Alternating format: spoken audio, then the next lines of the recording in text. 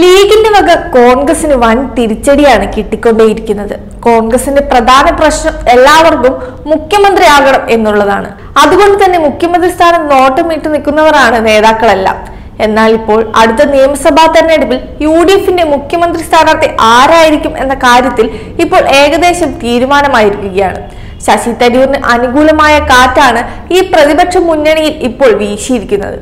മുസ്ലിം ലീഗിന്റെ ആഭിമുഖ്യത്തിൽ ഒക്ടോബർ ഇരുപത്തിയാറിന് കോഴിക്കോട് സംഘടിപ്പിക്കുന്ന പാലസ്തീൻ ഐക്യദാർഢ്യ റാലിയിൽ മുഖ്യാതിഥിയായിരിക്കുന്നത് പ്രതിപക്ഷ നേതാവിനെയോ കോൺഗ്രസിനെയോ മറ്റു നേതാക്കളെയോ അല്ല.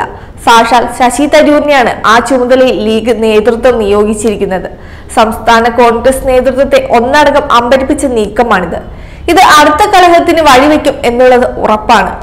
സംസ്ഥാനത്തെ മുഴുവൻ പ്രവർത്തകരെയും പരമാവധി അണികളെയും അണിനിർത്തി സംഘടിപ്പിക്കുന്ന ഈ റാലി ലീഗ് സംസ്ഥാന അധ്യക്ഷൻ സാദിഖലി ശിഹാബ് തങ്ങളാണ് ഉദ്ഘാടനം ചെയ്യുന്നത്. സമസ്ത ലീഗ് തർക്കം നിലനിൽക്കുന്ന സാഹചര്യത്തിൽ ഒരു ശക്തി പ്രകടനമാക്കി മാറ്റാനാണ് ഈ അവസരം ലീഗ് നേതൃത്വം ഉപയോഗപ്പെടുത്തുന്നത്. അതായത് വരുന്ന ലോക്സഭാ തെരഞ്ഞെടുപ്പ് കൂടി മുന്നിൽ കണ്ടുള്ള തന്ത്രപരമായ നീക്കമാണിത്.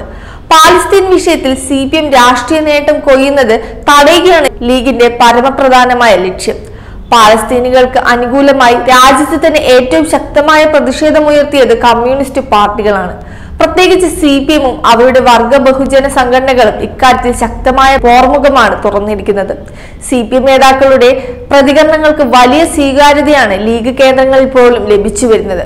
ഈ പശ്ചാത്തലത്തിൽ സ്വന്തം തട്ടകമായ പൊന്നാനി പോലും കൈവിടുമോ എന്ന ഭയം ലീഗ് നേതൃത്വത്തിനുണ്ട്. നിലവിൽ നിയമസഭാ തെരഞ്ഞെടുപ്പിലെ കണക്ക് വെച്ച് പരിശോധിച്ചാൽ കേവലം പതിനായിരത്തിൽ താഴെ മാത്രമാണ് ഈ മണ്ഡലത്തിൽ യു ഡി എഫിന് ലീഡുള്ളത് സമസ്തയുമായുള്ള ഭിന്നതയും സി പി എമ്മിന്റെ ഇസ്രയേൽ വിരുദ്ധ പ്രക്ഷോഭം കൂടി ആകുമ്പോൾ പൊന്നാനി കൈവിട്ടു പോകാനുള്ള സാധ്യത വളരെ കൂടുതലാണ്. മാത്രവുമല്ല മുസ്ലിം ന്യൂനപക്ഷ വോട്ടുകൾ ഇടത്തോട്ട് കൂടുതലായി കേന്ദ്രീകരിക്കപ്പെട്ടപ്പോൾ മലബാർ രണ്ട് സീറ്റിൽ യു ഡി എഫ് ഒതുക്കപ്പെടാനുള്ള സാധ്യതയും ഇനി വളരെ കൂടുതലാണ്. ഈ യാഥാർത്ഥ്യം കോഴിക്കോട് എം പിയായ എം കെ രാഘവനെയും ഏറെ അസ്വസ്ഥതപ്പെടുത്തുന്നുണ്ട്. ഇതെല്ലാം പരിഗണിച്ചാണ് പാലസ്തീൻ ഐക്യദാർഢ്യ റാലി നടത്താൻ ലീഗ് നേതൃത്വം തീരുമാനിച്ചിരിക്കുന്നത്.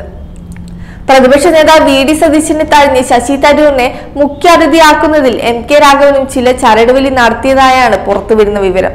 മുൻപ് പാണക്കാട് നേരിട്ടെത്തി ലീഗ് നേതാക്കളുമായി തരൂർ നടത്തിയ കൂടിക്കാഴ്ചയ്ക്ക് കളമൊരുക്കിയിരിക്കുന്നതും എം കെ രാഘവൻ തന്നെയാണ്. അറിയപ്പെടുന്ന എ ഗ്രൂപ്പ് നേതാവായ രാഘവൻ ഉമ്മൻചാണ്ടിയുടെ മരണശേഷം എ ഗ്രൂപ്പിലെ പ്രബല വിഭാഗത്തെ തരൂരിന് പിന്നിൽ അണിനിരത്താനാണ് നിലവിൽ ശ്രമിച്ചുകൊണ്ടിരിക്കുന്നത്. ഇക്കാര്യത്തിൽ ഒരു പരിധിവരെ അദ്ദേഹം വിജയിച്ചിട്ടുമുണ്ട്.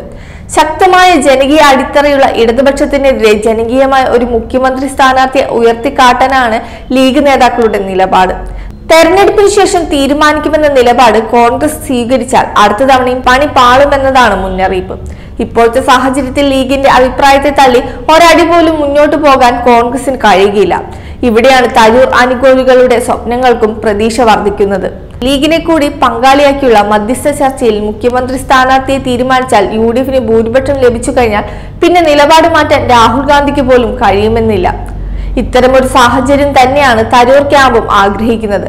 മൂന്നാം തവണയും ഇടതുപക്ഷം അധികാരത്തിൽ വന്നാൽ പിന്നെ ഒരിക്കലും കേരളത്തിൽ തിരിച്ചു വരാൻ കഴിയില്ലെന്ന് ഉറപ്പുള്ള രാഹുൽ ഗാന്ധി തരൂരിനെ മുഖ്യമന്ത്രി സ്ഥാനാർത്ഥിയാക്കാൻ അനുമതി നൽകുമെന്നാണ് രാഷ്ട്രീയ നിരീക്ഷകരും വിലയിരുത്തുന്നത്. എന്നാൽ ഇടതുപക്ഷം ഈ നീക്കങ്ങളെയും വലിയ പോസിറ്റീവായിട്ടാണ് കാണുന്നത്. തരൂരും ചെന്നിത്തലയും വി ഡി സതീശനും എല്ലാം മത്സരിക്കുന്ന തെരഞ്ഞെടുപ്പിൽ കാര്യങ്ങൾ എളുപ്പമാകുമെന്നതാണ് സി പി എം വിലയിരുത്തൽ. ഗ്രൂപ്പ് നോക്കിയും പരസ്പരം കാലുവാരിയും സ്വന്തം സ്ഥാനാർത്ഥികളുടെ പരാജയം കോൺഗ്രസുകാർ തന്നെ ഉറപ്പുവരുത്തിക്കൊള്ളുമെന്നാണ് സി പി എം നിഗമനം. കോൺഗ്രസിന്റെ ഗ്രൂപ്പ് പോലും നേതാക്കളുടെ തമ്മിലടിയും നിരന്തരം വീക്ഷിക്കുന്ന ഏതൊരാൾക്കും സി പി എമ്മിന്റെ ഈ നിഗമനങ്ങളെ ഏതായാലും തള്ളിക്കളയാനും കഴിയില്ല.